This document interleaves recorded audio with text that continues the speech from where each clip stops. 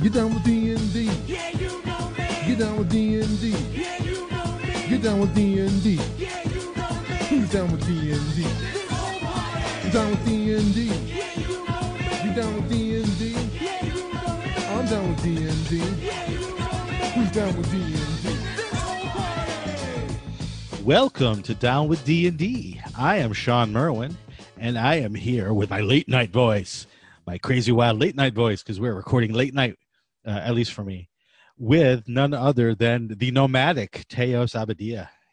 coming in from the storm, except it's supposed to be uh, snow, Yeah, and instead it was toxic smoke. So, but yes, I have I have fled from my home to a different home, uh, and that's part of the reason why we are recording at this late hour on a different day. yeah. So, so Teos is role playing a nomad, and uh, he's really getting into it when he when he role plays. He he takes his whole family and his pets with him. I mean, he's he's serious about this role playing. I larped a Oh. 26 hour car drive, so that was good. Yep. But luckily, we are uh, able to still, through the miracle of technology, uh, record a podcast. Yeah, and you know my day job is in uh, chemical toxicity type issues. So if you are in the smoke area, uh, which is at least three states, if not five to nine of them, uh, please do not get yourself exposed to that. Uh, wear a, a mask when you go out and do it very as, as briefly as you can. Hopefully, do so and get back inside and filter the air inside because this stuff is really bad. Uh, and, and so um, sorry for everybody who has to go through that, all the listeners that have to go through that. Um, my heart is with you. Yeah, I mean, and then you have in the south, you have flooding, uh, and I mean, when when a pandemic is like the third most, uh, Yeah. you know, virulent thing happening in the in a country, uh, you have to take stock. Yeah. But So well, take care of yourself, everyone. Yeah, please. And if you are safe and sound and ready for a little fun, we have a lot of D&D news. The news does not stop for anyone, uh, whether it be real life or D&D. Uh, the, our first bit of news uh, happened a while ago, but we're just getting to talk to it, uh, talk about it now. Avalon Hill was a subsidiary of uh, Wizards of the Coast until now.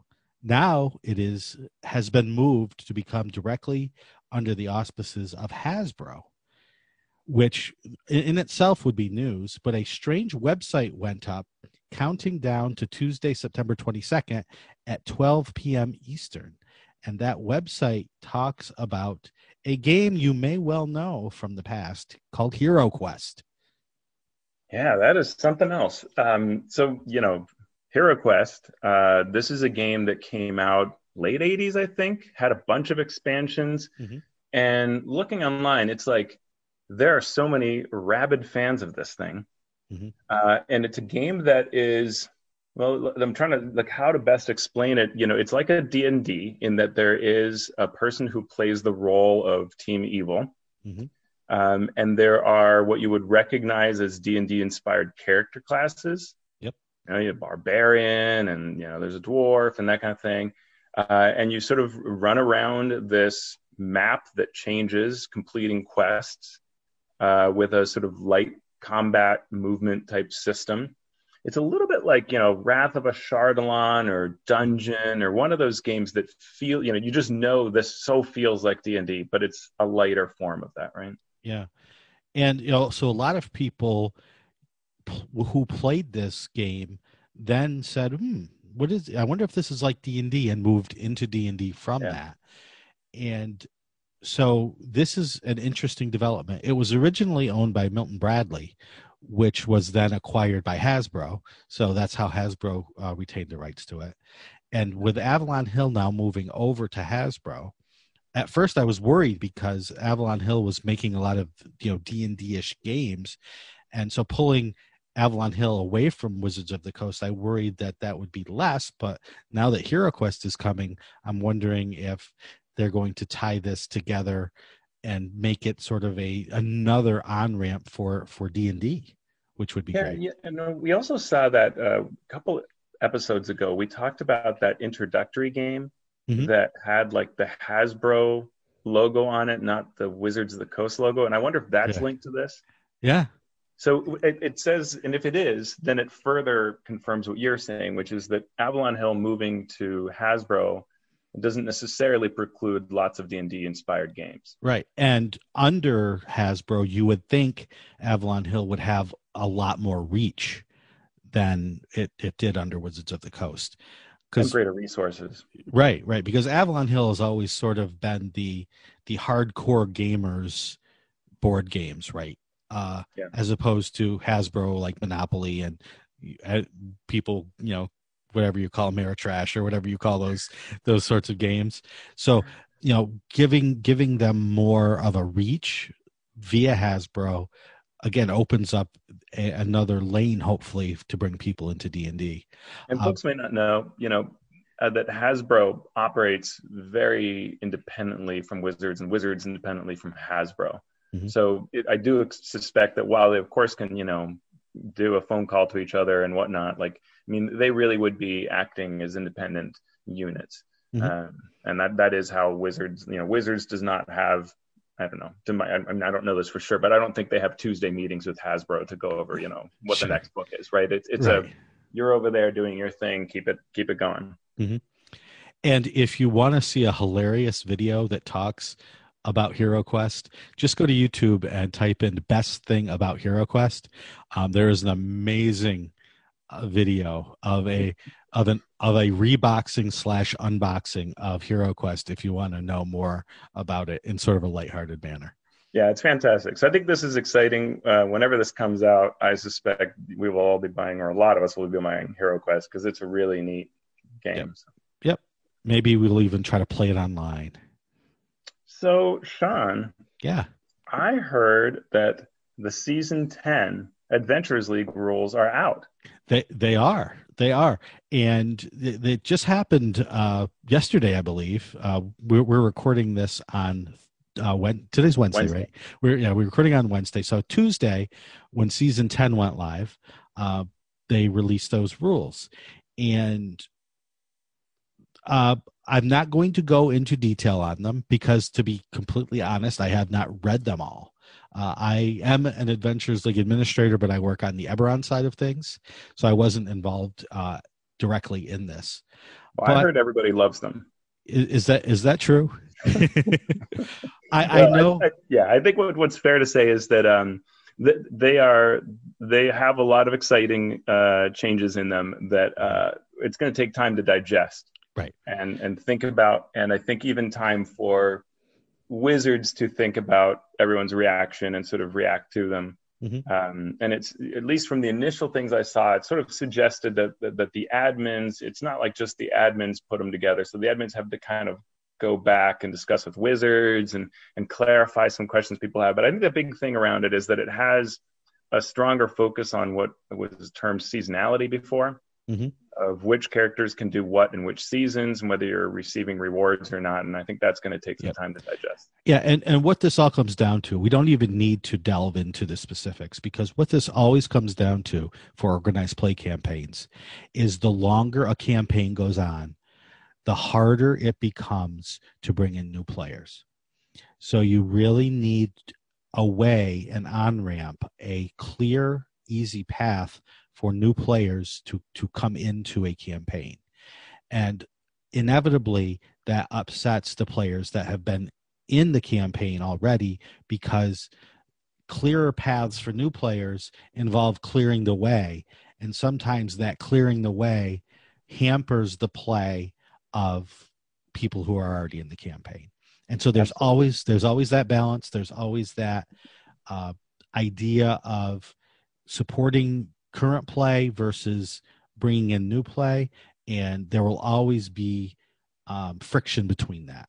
So uh, you know that's that's the 30 second summation of 20 years of experience uh, for me having worked in both the main campaigns and in side campaigns of organized play.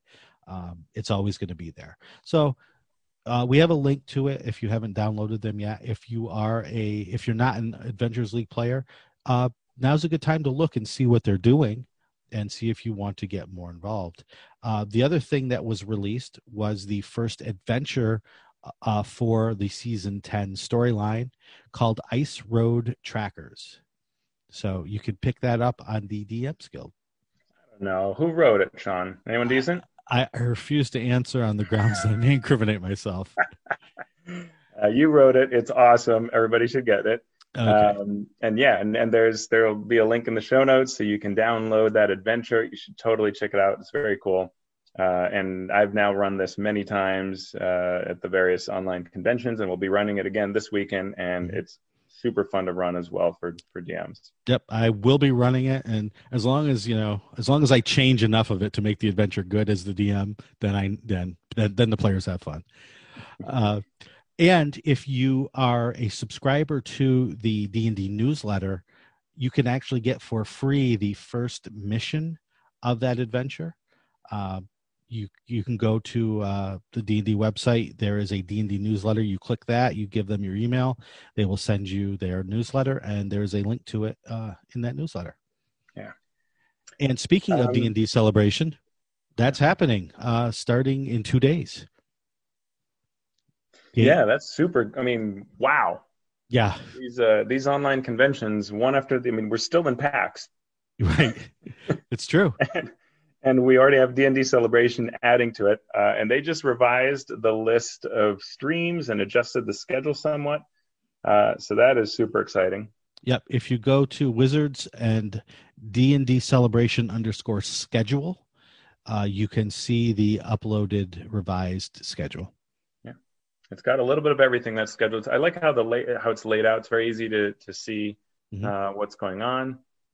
Um, yeah, we mentioned last time the Acquisitions Incorporated game. So it looks like uh, Holly Conrad is returning as Strix. So that's who's coming back to uh, the game. Hasn't been there for some time.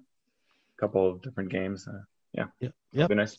And uh, if you want to hear at PAX a panel with Teos and I talking about playing D&D the Acquisitions Incorporated way, you can catch that Thursday, the 17th at 8:30 p.m. It's called the Proper Care and Feeding of Your Franchise, D&D the AI way. Yeah, that's that's uh, you know I recorded this with you, and I still want to listen to it. It's that good. I I almost never listen to anything I've recorded, and I think I actually may go back and listen to that because I'm running it right now and I want to remember what I said.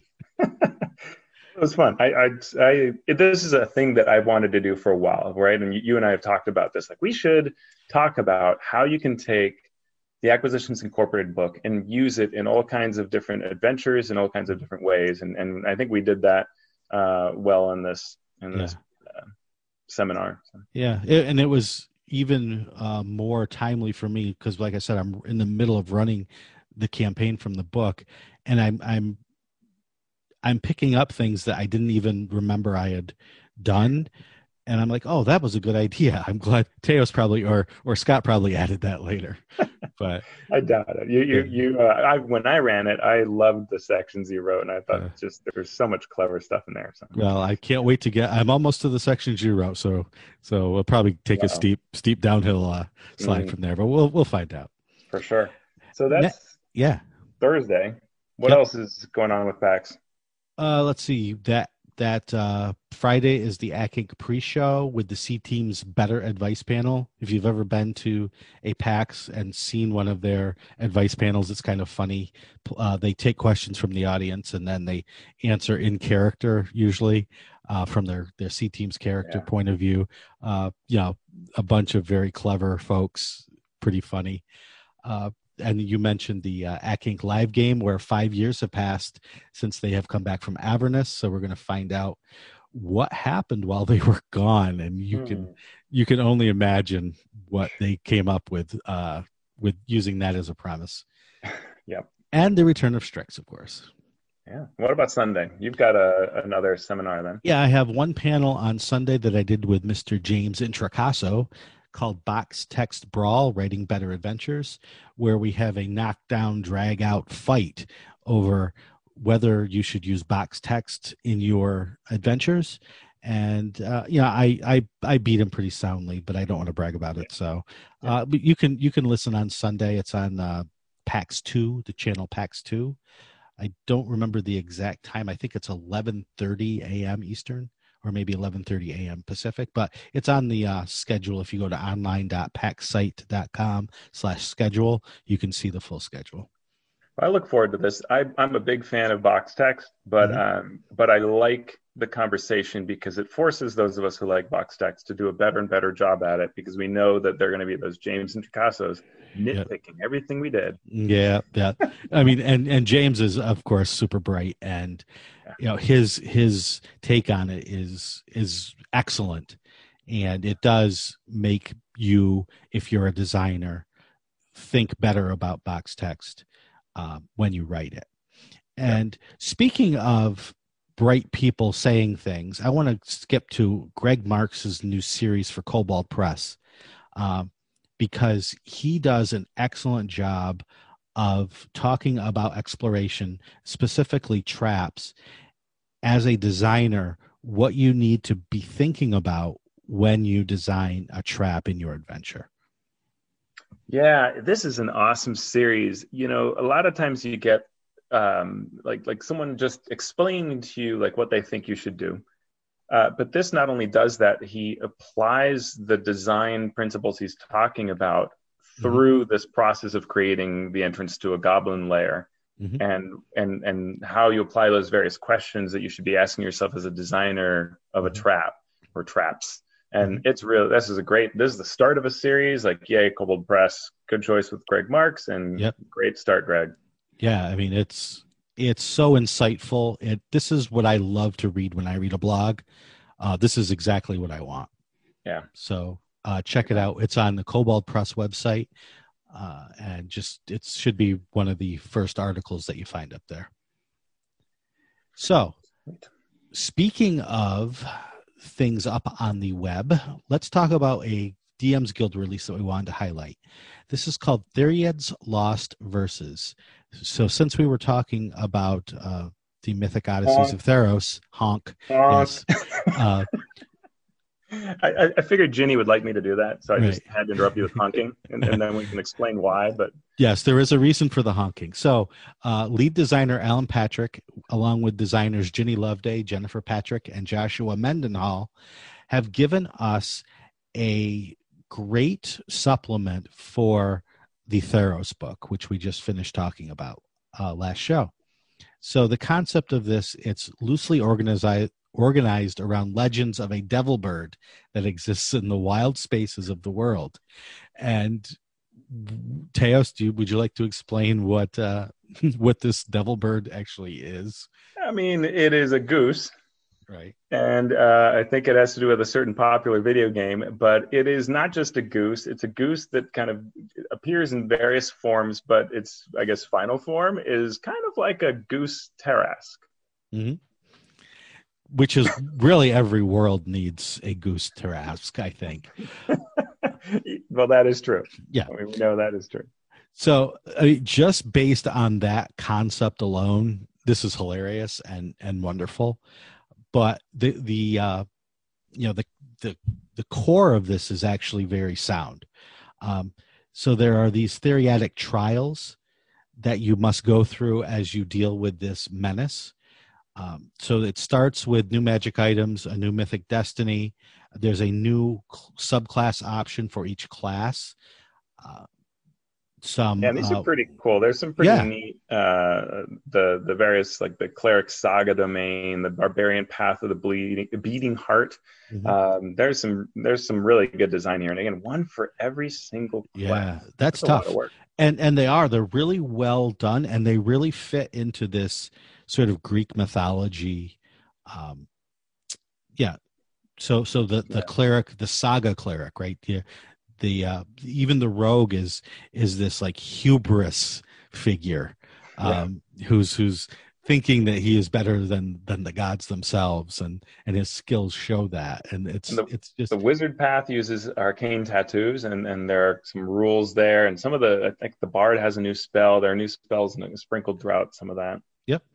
And if all of that isn't enough for you, there are also three adventures uh, in this product the Fires of Heresy, which is for levels four to seven. uh, Drowning in Despair levels six to nine, and Furnace of Invention levels eight to 11. So these can be either dropped into an existing campaign or you can use them as part of this ongoing mythic uh, Teriatic Trials campaign. Yeah, it's pretty neat. Uh, and to support that, you have a bunch of new monsters. These monsters, like, I would pick this up just for the monsters. I mean, Sure. Blood Gorger Worm, hmm sold. Cockatree Swarm, sold. yeah. uh, miniature Nyxborn Adiug. And then you got your various devil geese. Well, your devil geese, of course. And we talked about those mythic monsters last time, Mhm. and they have taken uh, this to heart. They have the mythic Sisters of the Poisoned Promise, Yep. and the mythic uh, non-player, a mythic non-player character who is an oracle. I, I don't know Yeah. to what you know, maybe a bit of a spoiler, but th- these are um, really neat monsters, really well designed. Uh, they have, I, I feel like there's some Alan Patrick essence here. Whenever you have like a blood gorger worm, that's like Yep. that's so Alan Patrick. He is Mr. Tentacles and worms and Yep. Caius, Caius and yeah, and yeah. mind flayers. Yeah. When you say Caius at the same time as someone else, I think that's probably a bad omen. Yeah. yeah. I'm looking It's- looking out my window right now. Yeah, so this is highly recommended. It's Mm-hmm. seventeen dollars, but again, it's a, it's packed with everything. It just uh, sixteen ninety nine gets you all of Mhm. these subclasses, spells, magic items, mythic destinies, and if you're going to run the mythic uh, Theros, then this is a great way to do it. Now, speaking of Kobold Press again, uh, Kobold Press has a Kickstarter just went up a couple of days ago called the Scarlet Citadel, a Dungeon of Secrets. This is a classic multi-level dungeon for fifth edition, a place of dungeon crawling, treasure looting, and morphing battle maps. Um, it's an so it's an adventure from Kobold Press, specifically Steve Winter. Now, if you don't know who Steve Winter is, and you say you're a D and D fan, shame on you. Um, so Steve has been working either at TSR or Wizards forever, and and then he went on to work uh, with Wolfgang Baur at Kobold Press, and you know he does a lot of design development, editing, and so on. And I've never seen a product associated with Steve Winter's name that wasn't first class. Yeah, absolutely. And so, you know, even just seeing his name, I'm like, okay, sold. And so it sounds like this is going to be a an all dungeon adventure for levels 1 to 10, sort of going back to the old style of there's one town and that's where you live and that's where you go back to, but for the most part you're just going into these dungeons and, and dealing with all the mystical, magical, crazy things that are there. Awesome. So yeah, Steve's great. He's Yeah. done amazing work. Uh, one of the legends of our hobby. So uh, check that out on Kickstarter. It's called The Scarlet Citadel. And last, for a, a little bit of sort of funny news, uh, to to sh- show just how far that D and D has seeped into the culture of our world, there are now official D and D costumes being sold at Spirit Halloween stores. Um, for Yeah. you- so the I've already been threatened by two different people to buy me the Dungeon Master from the cartoon outfit. Uh, with I want the to see you wear that. Yeah. yeah, well, I mean, if I let my hair grow long, it Mhm. would, I would already look like that for the most part. Well, you know, and it has the hairline, uh, you know, kit. It has like a Yeah. sort of skull cap with hair on the side that, that Right. comes as part of it. And then the red outfit, yeah. My Yeah. my home group, I I strongly believe will probably buy that for me, uh, which that. is which is horrifying because if I asked for money, could because I needed it for food, they wouldn't give it to me, but for this, they would hand it over. Uh, but not only that, uh, what if you're a couple, Teos? What if you're Oh, so? well, what- of course, what, we you would get? do is we would buy the his and hers costume of choice, which is Catti-brie and Drizzt Do'Urden. And Mhm. honestly, what I really want, I mean, the costumes actually pretty good. These costumes actually, I think, really look cool. Uh, and you don't necessarily have to say that you're these characters. You can just be like fantasy character type things. They look fine, and it comes with swords and bows and a D and D journal and a molded tavern look coffee mug thing. But I, what I want is I want the footage of the meeting where people had to discuss which characters Yeah. to put in this, right? Yeah. Because Catti-brie, like, I mean, I like her because obviously she's cool in a D and D way, but like that is not a super fleshed out persona, despite Yeah. being in a lot of books. Yeah. Um, yeah, I don't know. Like, it, it's a really interesting choice. Again, I'd love to see the video of the meeting where they decided Catti-brie because it's not your most recognizable True. character. Yeah. But, But the the- costume is really cool. So you know, I guess who cares in the end? It's it's a neat costume. And geez, Spirit Halloween has a D and D page and D and D themed. Right. Now what? Like Official, right? Not not just like a, a knockoff. This is licensed? Yeah, licensed. Yeah. So right there next to Naruto and you know yeah. Avatar and and all that. Yeah, it's crazy. Good times. Crazy, crazy world we're living in. Yeah, you cannot question 2020. I mean, you should, but Right. but yeah. it is it is amazing what that this year has thrown at us, including Spirit Halloween. Yep. So, with the release of Icewind Dale, Rime of the Frostmaiden, we will be covering that book in future episodes.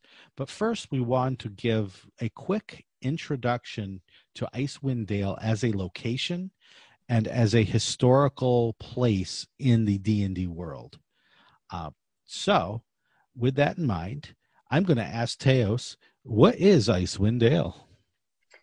So it is the region to the far, far northwest, the far northwest corner of the Sword Coast. So yes, you're kind of still in the Sword Coast. For those of you who complain about D and D being there too often, I don't think it's a bad thing. But you are so far to the northwest that maybe you're not on the Sword Coast, or it doesn't have to feel like the Sword Coast. Mhm. You are, you know, up in the regions that are inhospitable. It's a cold, dangerous location. Um, and so it's remote from all those things that have been part of other campaigns. Yeah, for for me, it doesn't count as part of the Sword Coast, even though it's on the same coast as Waterdeep and Neverwinter and Luskan and so on, because it's so different. Um, it is the land of ice and snow. It is the land of harsh survival. Uh, it is the place where you would want to run a campaign if you wanted something that was known by many many people but still mysterious enough that you could do a lot of different things with it. Yeah, that's a great point. Yep. And, yeah, and traditionally it's it's a place, it's a location in the Forgotten Realms where people go to to start a new life. And I think that's an apt comparison because it can also be a great place to start a new campaign Mhm. and to get a to kind of change up what you've been doing with your adventuring group. Like if you, you know, if you want to put the players through a different experience, then this land of ice and snow, bone chilling winds blowing off the ragged glacier, like this is a cool way to do that. Yep. and even though it is sort of a a desert of of snow, there is still enough of a different feel for the different areas because you still have civilization. It's not the metropolises that you're used to in the south, but there are the 10 towns.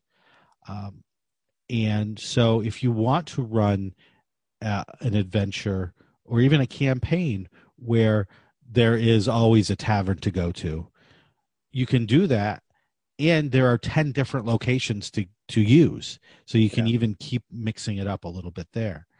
Now, if you want to get away from civilization, you have the mountains that you, that you can you can always go to, um, the spine of the world to the south. Uh, you have the sea of moving ice, so you can have water based uh, adventures, and you also have three lakes that you can use: uh, Maer Dualdon, Lac Dinneshere, and Redwaters. Yeah, and those lakes are the center of, of life for the ten towns. Um, they they they make it so you well they're they, they yeah they've come together to create the reason for these towns right in that the each of these towns except for the one that's in the very middle all the three the the uh, nine that border the lakes they make most of their money from fishing knucklehead trout Mhm. that are in these waters and these are enormous fish that you can land and their bones are then carved out uh, as scrimshaw and what is termed white gold or nicknamed white gold in the region because they're worth a fair bit to carve these up if you are skilled and if you landed a big enough fish then you can sell these to all the people in the rest of the forgotten realms for Mhm. marked up prices Right. So there there is that diversity of uh, possible settings, even within a fairly uh, homogeneous setting, I guess. Yeah, and, and it's a great point because and, and you know it's like there's so much flexibility to this. Each of the towns is different, and though they're small towns and they're rough towns, they have enough variation and breadth that you really can kind of sneak something, whatever you want to sneak into a town, you can find the town where you can put this in. Mean, Mhm. Unless you want a princess castle, okay, sorry, but you know anything you could imagine being in a sort of inhospitable type setting and uh it can be have a wild west type feel or you know a horror feel or whatever. And, and you can you can slip it into one of these towns because they are all different in character and they have different ways of going about and and policing themselves or what they uh, how lawless or how good they are you know all these kind of things. And the adventure represents it with a sort of snowflake system which is kind of fun Mhm. um, but there are there's there is wide variety here. And similarly in the wilds around these towns you can kind of sneak anything in there. The map tends to only show the biggest features. Mhm. so you can easily be on a trek from one point to another and run through a forest or a small lake or a river or a frozen river. You know there's just it's it's one of those settings where you can just easily modify things to fit your needs So let's talk for a moment about the history of Icewind Dale in D and D lore. Um, where did it come from? Where has it gone? And where will it end when we talk about the book itself? Yeah. Well, So- yeah. I, I love the beginning because you and I, you know, as designers, we have had experiences kind of like this to some extent. Mhm. Right. Yeah. So, So if talk if you've heard uh, if you've heard uh, R.A. Salvatore talk about uh, how this book came to be, it's it's really a great story, and it really is sort of the creative by the seat of your pants sort of story. Um, he was hired to write a novel, but he kept uh, be, being either not being able to find an, a place for it or being told that the place he had chosen was wrong. Uh, so finally, he got a call saying, "Well, we're going to put this in a land called the Forgotten Realms," and they sent uh, TSR sent him the uh, Moonshae Isles novel, Dark Darkwalker on Moonshae, uh, that Douglas Niles had written. So uh, Mr. Salvatore uh, said, okay. And he set Icewind Dale in the Moonshae Isles because he thought the Moonshae Isles were the Forgotten Realms. And and they sent him a big map and said, well, you can really use anything in this whole big world. So he finally said, oh, well, here's a blank space on this map. I'm going to put it there. And that's how Icewind Dale came to be where it is uh, on the Forgotten Realms map. And I just love that because there have been so many projects where you're working with wizards, and, and again, I love working with wizards, but it's funny because you know, be like, okay, cool, I put it on the map of these islands. They're like, oh no, no, it can't go on the islands. Well, you sent me a map of the islands. Okay, well, here's the map of the whole world. Okay, what about this area? Well, actually, there's another designer working in that area. All right, what about here? And he just had to go through that process. Yeah. And then he got to make it up. And that was sort of the funny thing is because everything Right. was taken, right? He ends up just whole cloth making up this part of the world Right. and it's been a great part of the world right? It's it's really gone well for all of us. Oh yeah. I mean it, it's been great for him. It's been great for tsr slash wizards. It's been great for all of the book publishers and all of the video game makers and all of the uh, tabletop designers who have placed uh, their games there. And video games right? I mean i think Yeah. because you know it's not like this was a setting i mean he, he wrote the novels and the novels gripped a lot of people. I mean there were some of the first ones that were uh widely out there for forgotten realms like the the douglas niles moonshae ones were the first i read but shortly thereafter i read the crystal shard. Yeah. um, and i just finished reading it not too long ago with my son and we had a blast. He's devouring all these Drizzt novels. Mhm. um, and then video games right? Because it's not like they released adventures for these places uh, but video games explored there, and I Right. played those uh, Yeah. Icewind Dale video games forever.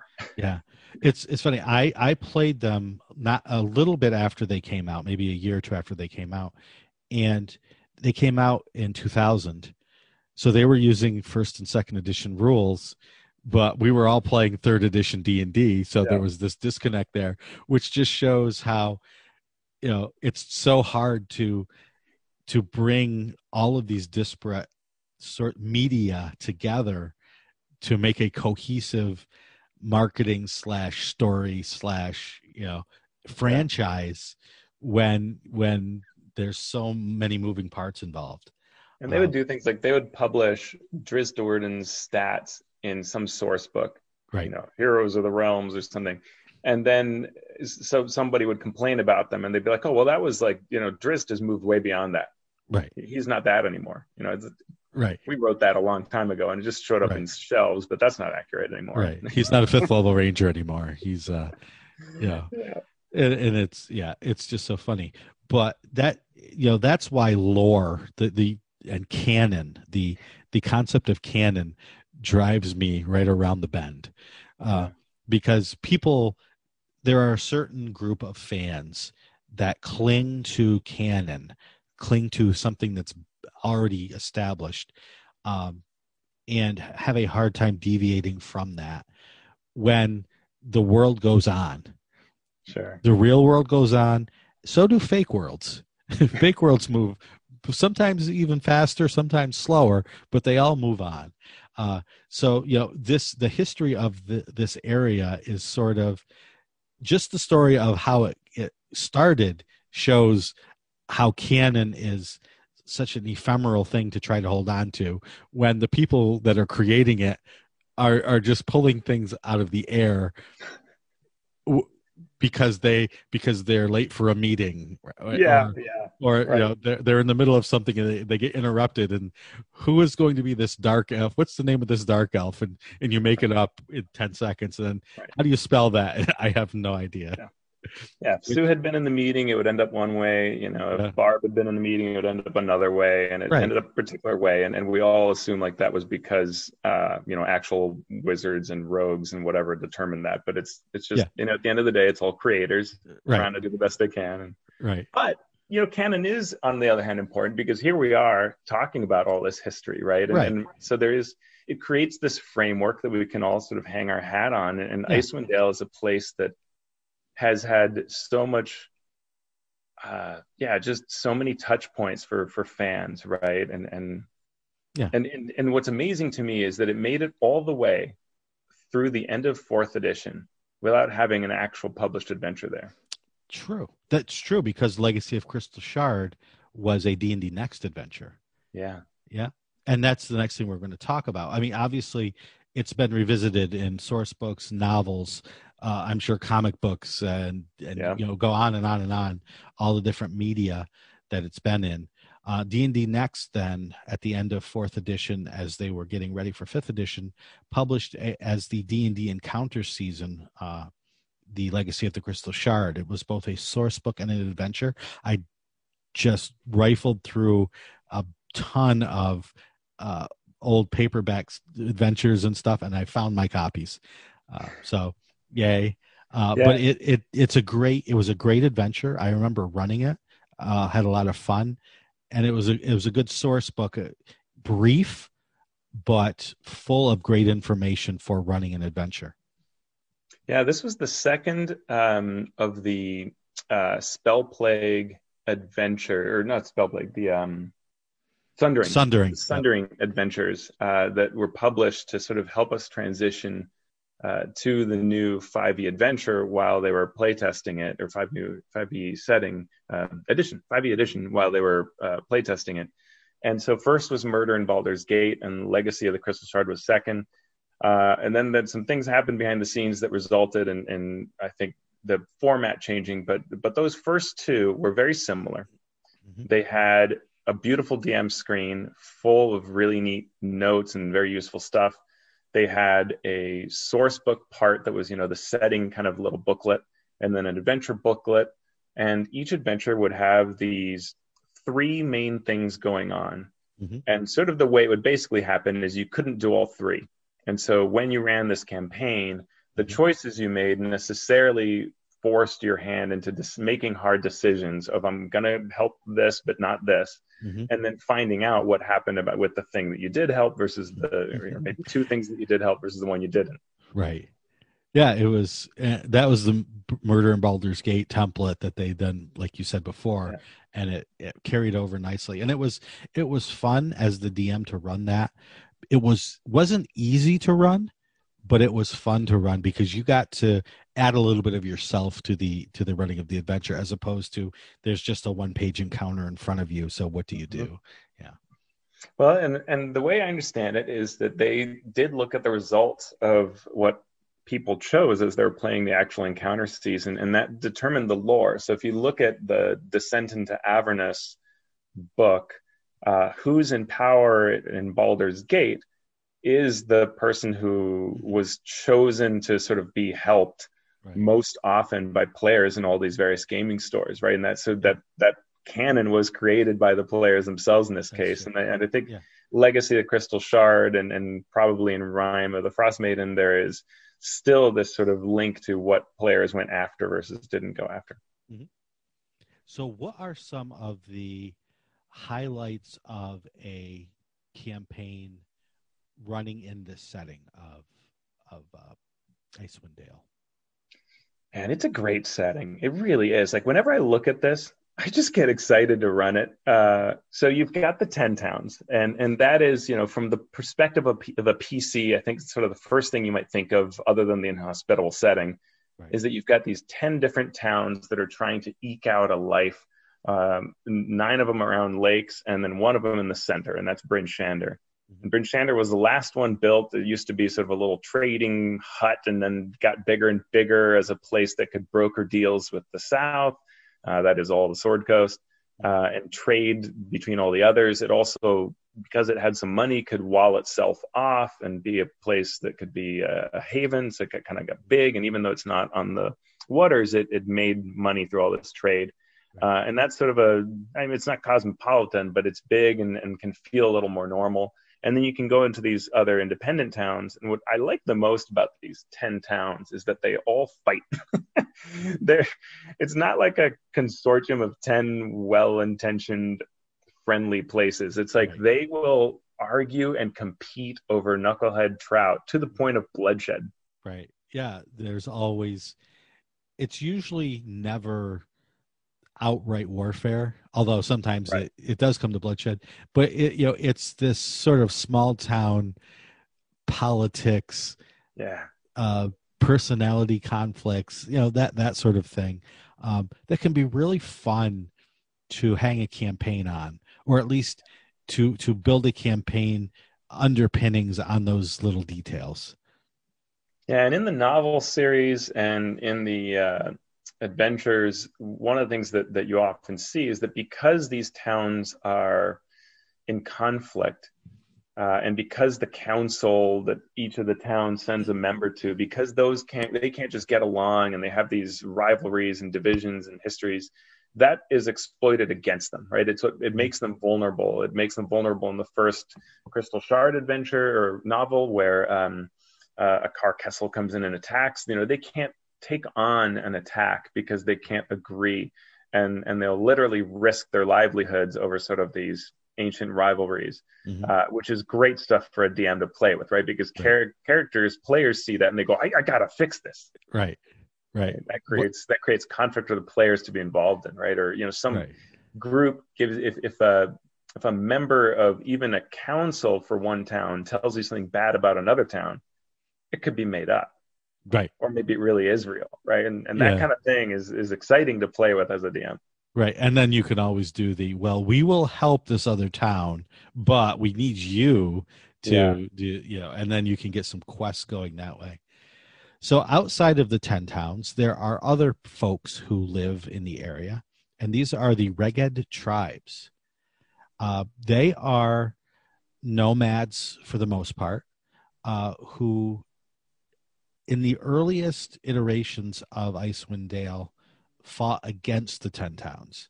So you know, in in this sense, they were the wild barbarian tribes uh, that would attack and uh, sort of like a uh, you know the the Scandinavian you know Yeah. longship Vikings. and- Viking. yeah, they have that aspect. I mean, you know, you can't completely fault uh R.A. Salvatore. Like like he he does write um you know, they are different peoples, right? They the, the barbarians themselves, just like the ten towns, have a number of different uh they, are in tribes.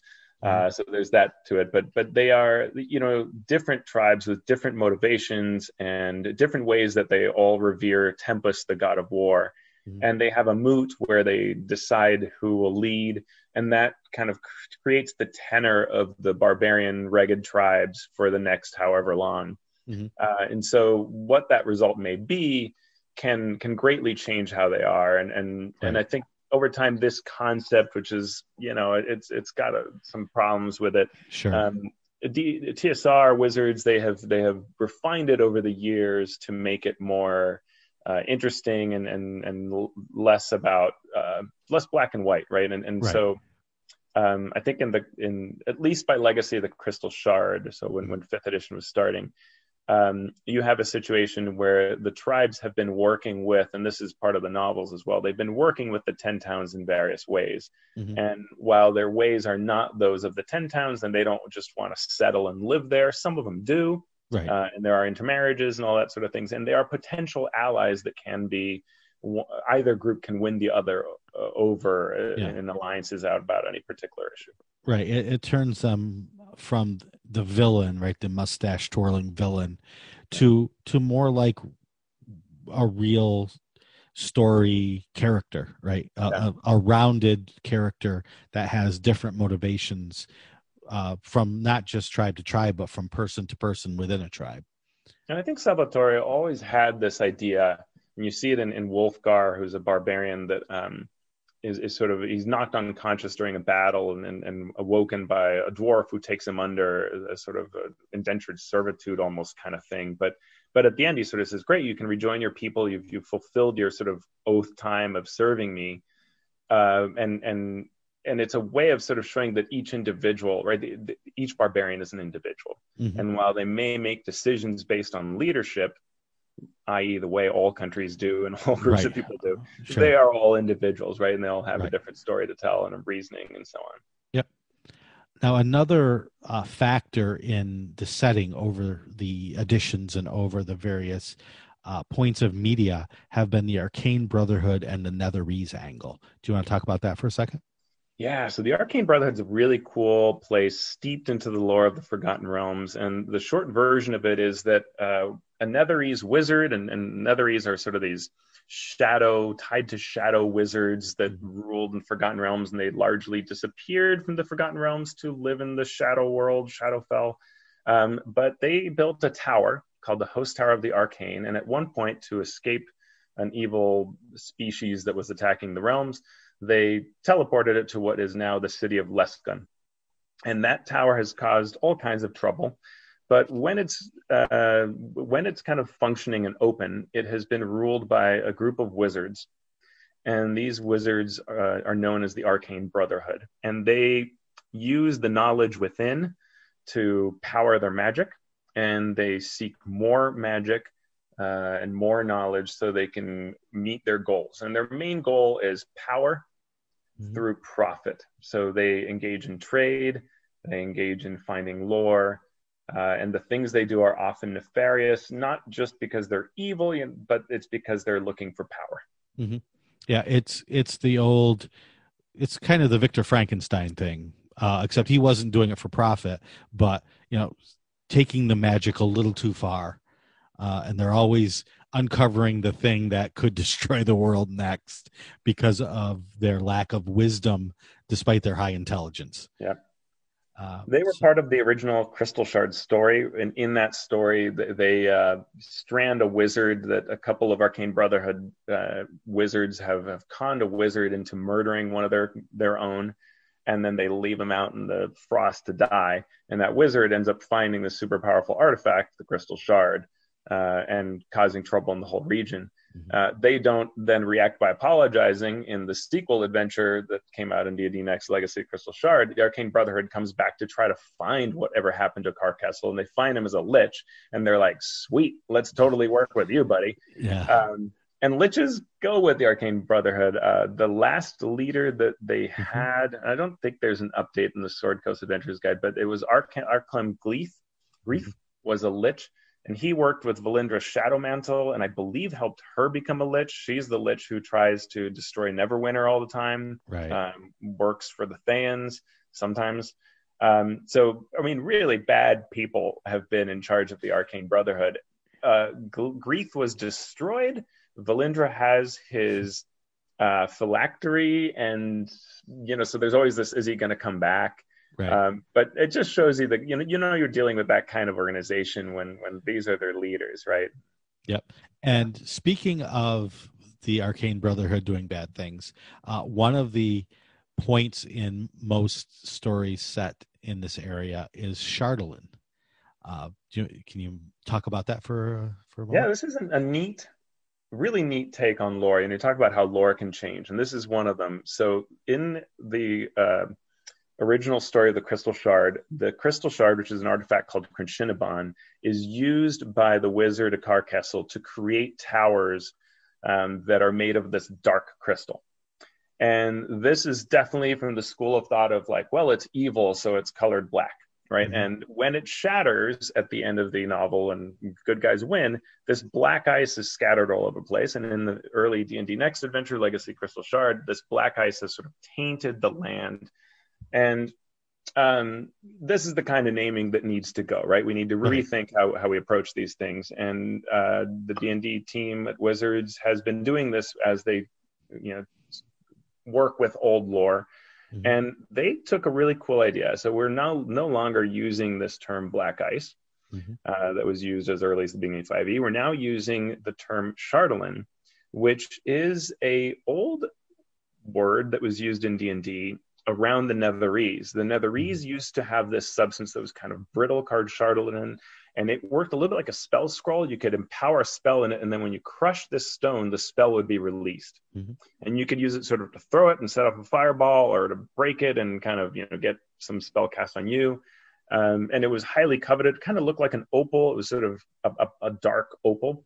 Mhm. And so this is now what uh, is really taking place, right? The remnant of the crystal shard is Chardalyn. Um, even sounds perfect together. And this is a thing that is linked to the ancient Netherese, which open, o- opens all kinds of opportunities. Um, I think uh, this is a really neat change. Yep. And it is a substance that can be worked sort of like an iron ore uh, and using it wearing it wielding a weapon by it tends to have um, some properties that you might not want. It corrupts a bit. So so that's always an interesting um, dynamic i think in a game. Uh, to have something that's powerful but also dangerous. As a dm you can play with that. If you have characters or players who uh, throw caution to the wind for power boy where have we heard that before arcane brotherhood um, Yeah. then you can you can um, you know tempt them and create some interesting stories that way Well, and we've seen some windows into this through product releases because uh, WizKids has this dragon miniature you can buy. We talked about in the last episode. That is a Chardalyn dragon, and that Right. sounds amazing. yeah i i want to make one of those Well, there have been some really neat things. So, uh, Neverwinter, the video game, the MMO, uh, it use it it has a whole Icewind Dale section of the game that you can play in, and it used the legacy of the Crystal Shard concept to create several areas and release them for players. And you fight some really neat things there. Like there'll be like polar bears that'll have Chardalyn pieces embedded in them Mhm. or there will be a black ice beholder is what they call it in there, right? But a Chardalyn beholder that's like Mm. a sort of purple black opalescent beholder that uh, has special qualities and nice and so there's a lot you can do with Chardalyn that can make for a really neat experience. So I'm excited to see what the book has in it. Yep. So those are the things that we're going to be looking for as we take our tour through the book uh, to see what's carried over, what's changed, and so on. Can I add one other important thing? You certainly can, my friend. So, uh, another really important part is the gods. We mentioned Tempus, Yes. uh, revered by many of the Reghed tribes. Uh, Tempus is important as a god of war, but we also have uh, a goddess that's really important, which is Auril. Right. And she is known as the Frost Maiden. So she gets title name. Mhm. right. She, she's And- got her name on the marquee. and she's got another a, a- a number of cool names ice dawn the cold goddess goddess of winter the frost sprite queen uh, an, an endless number of, of names you can look up uh, she has often guided uh, people of the ten towns the Reghed barbarians any number of groups there she has had a hand in it she's a little bit like Umberlee hmm right? She's that Yeah. kind of like she's she feels evil and everybody's afraid of her, but you might, you know, you're going to take that important ship voyage. Well, you Right. toss some coins over Yep. to Umberlee and Yeah. say thank you and and please, you know, watch Yeah. over me during my journey. Right. Yeah. And then, yeah, it's the same thing in, in the Icewind Dale. If you're going to take a trip out into the wild, you're probably going to say a little prayer to, to Auril to not have her focus her attention on you. Yeah. And in, in the Legacy of the Crystal Shard adventure, one of the three things you could choose to be involved in was opposing how Auril had empowered a barbarian outcast Mhm. to become, um, she's known as Hedron the Ice Witch, and she had Yeah. taken over the tribe of the bear, weakened another tribe, and is sort of creating all these uh, storms and things like that. And so clearly she was not bested sufficiently Yeah. uh, because she's she's back. Yeah. it's pretty obvious that she's gonna be back in this new book. Right. It- you know, in one of her iterations, it's just wanting to destroy life, right? Anything that gives off heat. Uh, so in, in that, in her essence uh, of in that form, she is constantly attacking any civilization, uh, and the ten towns in particular being uh, the only civilizations in Icewind Dale uh, of any note. So, all right. Uh, is there anything else you wanted to say before we sign out for this episode? Well, yeah, just that if folks um, who are listening uh, have specific questions about the history of Icewind Dale, or if you're a fan of Icewind Dale and there are parts of it that you want us to see us talk about, you know, maybe you're a big fan of the dragon Icingdeath from the original novel, or some other part that you say, you know, oh, I'd like to hear more about that. Uh, let us know. Yep. And you can let us know in a variety of ways. You can let us know by hitting us on Twitter, and we'll give you our Twitter handles in a moment. Um, you can let us know on our forums at forums.misdirectedmark.com.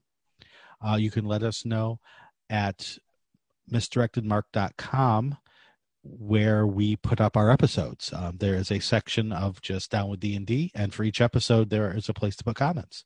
Um, so any or all of those places are places you can talk with us. And if you're a patron of the show, you can also talk to us on our Patreon page, patreon.com slash MMP. Uh, to become a patron, you can go there, and for as little as a dollar a month, uh, you can support us, keep the lights on, and, and chat with us and talk to us. Uh, so thank you if you are a patron. Thank you if you are a listener. We appreciate it. Uh, Teos, where can people find you on social media? Yeah, thank you, everyone. Uh, you can find me on Twitter at AlphaStream, and my blog is alphastream.org.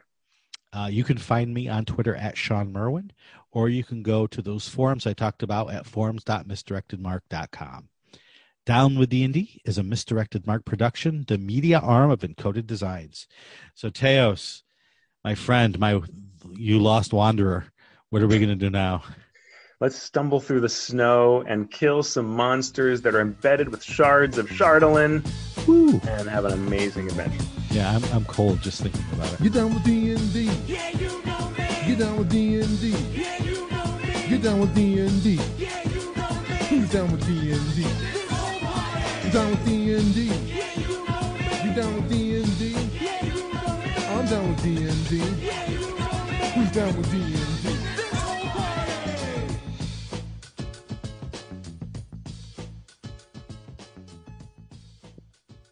And then take a deep breath of breathable air.